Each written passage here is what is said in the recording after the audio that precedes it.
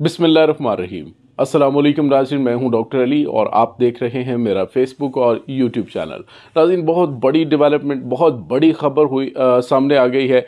Yemen ने सिर्फ़ चंद दिनों में, सिर्फ़ नाजीन तीन हमलों के अंदर अमेरिका की बस करवा दी है। अमरीकी अखबार न्यूयॉर्क टाइम्स के अंदर एक बहुत बड़ा आर्टिकल छपा है, उसके अंदर क्या इंकशाफात किए गए हैं, उसकी तमाम तर तफसीत आपको बताएँगे, जबकि दूसरी जानब नाजीन ईरान और हिजबुल्ला ने एक बहुत बड़ा काम शुरू कर दिया, इंतहाई तबाहकुन हथियार यमन की बंदरगाह पर पहुँचा दिए हैं। इसके बाद जंग का दायरा कार कितना फैलने वाला है, इसकी मुकम्मल तफसीत आपके साथ शेयर करेंगे, और दूसरी जानब नाजीन, हमास के तर्जुमान अबू उबैदा की जानब से सौ दिन जंग के मुकम्मल होने पर एक स्पीच की गई है।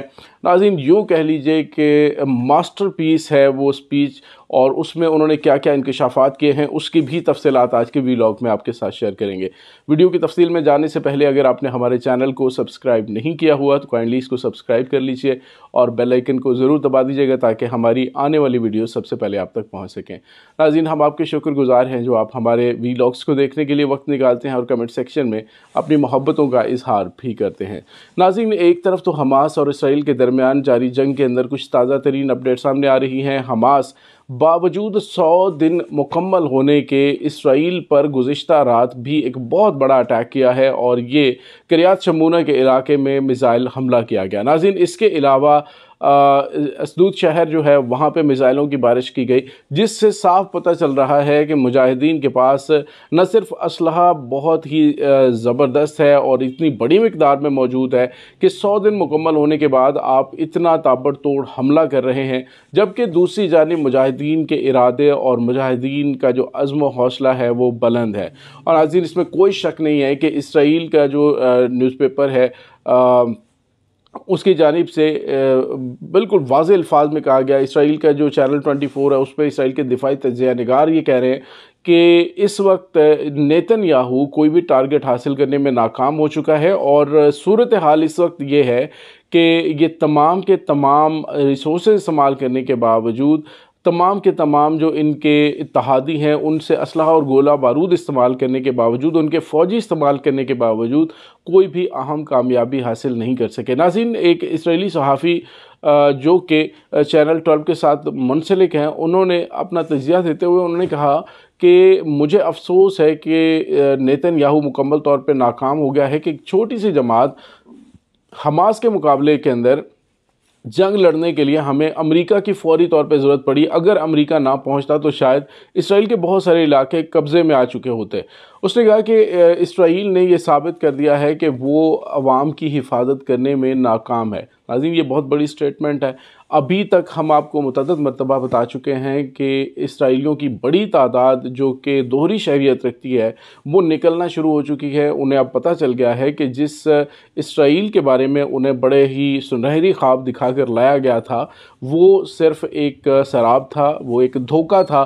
सिर्फ़ ये सौ दिन की जंग में इसराइल जो है, वो हर महाज पे बुरी तरह से नाकाम हो चुका है और मुजाहिदीन पूरे अज़म हौसले के साथ अभी तक मैदान कारजार में डटे हुए हैं। नाजिन इस वक्त सूरत हाल ये है कि एक तरफ़ हिजबुल्ला जो है वो जनूबी लेबनान से अटैक कर रहा है, शुमाली लेबनान से अटैक कर रहा है, जबकि दूसरी जानब इंसारुल्ला यमन ने इसराइल की मीशत की कमर तोड़ के रख दिया अब नाजिन जो ताज़ा तरीन ख़बरें सामने आ रही हैं, वो ये हैं कि जो इसकी जानब से दावे किए गए थे, आपको पता चंद दिन से अबू उबैदा जो हैं वो स्टेटमेंट नहीं दे रहे थे, अब उन्होंने एक तकरीर की है और तकरीर के अंदर उन्होंने कहा है कि जो इनकी जानब से दावे किए जा रहे हैं कि हमने 100 किलोमीटर लंबी तो इतने 100 किलोमीटर लंबी सुरंगें पकड़नी है, झूठ पर मबनी ऐसा कुछ भी नहीं है। दूसरा उन्होंने कहा जी कि इन्होंने कहा जी हमने इनके मिज़ाइल बनाने वाली फैक्ट्रियाँ पकड़ ली हैं, ये झूठ पर मबनी है, इसमें कोई हकीकत नहीं। उन्होंने कहा कि सौ दिनों में जो हमास की सुरंगों का नुकसान है, वो पाँच परसेंट हुआ है। नाजीन आप अंदाज़ा लगाइए कि अगर सौ दिनों की जंग में जिसमें अमेरिका जो है और इसराइल है, बरतानिया है, जिसके तमाम अलाइज की बस हो गई है तो वहाँ पे आप अंदाज़ा लगाएँ, उनका सिर्फ़ पाँच परसेंट नुकसान हुआ है तो अभी उनके पास कितना कुछ है? तो ये बड़ी इसराइल के लिए पैनिक सिचुएशन है। वो अब किसी भी तरीके से जंग से निकलना चाहते हैं, उसके लिए बहाने ढूंढे जा रहे हैं कि जी हम ईरान के साथ हमें जंग लड़नी चाहिए। कल नाजिन एक अमरीकी सेनेटर ने बड़ा अजीब गरीब बयान दिया। उसने कहा कि अमेरिका को अब इधर उधर जो ईरानी प्रॉक्सीज हैं, उनके साथ लड़ाई करने के बजाय डायरेक्ट ईरान की जो रिफाइनरीज हैं, ईरान की जो तनसीबात है, उस पर हमला करना चाहिए। ईरान के अंदर जाकर अटैक करना चाहिए। तो नाजीन ईरान ने इन्हें हवास बाख्ता कर दिया हुआ है। तमाम महाजों पर इतनी आउटस्टैंडिंग प्लानिंग करके रखी हुई थी कि वाकई अब जो इसराइल है, वो एक मकड़ी के जाले से ज़्यादा हैसियत नहीं रखता है। अब नाजीन एक और बड़ी खबर यमन से आ गई है। यमन में आपको पता है कि अमरीकी फ़ौज और यमनी मुजाहिदीन के दरमियान इस वक्त रेड सी के अंदर हालात काफ़ी ज़्यादा कशीदा हैं। आज तीसरा अटैक किया है अमरीका ने हदैदा की बंदरगाह पर। और ये एयर स्ट्राइक की गई। इसमें अमेरिका ने बर्मला इजहार किया। अमेरिकी ऑफिशल्स ने न्यूयॉर्क टाइम को बताया कि हमने सौ मिज़ाइल दाग दिए हैं। सौ मिज़ाइलों का हमला करने के बावजूद हम कोई कामयाबी हासिल नहीं कर सकते। बहुत ही मिनिमम सा नुकसान हुआ है यमनी मुजाहिदीन का।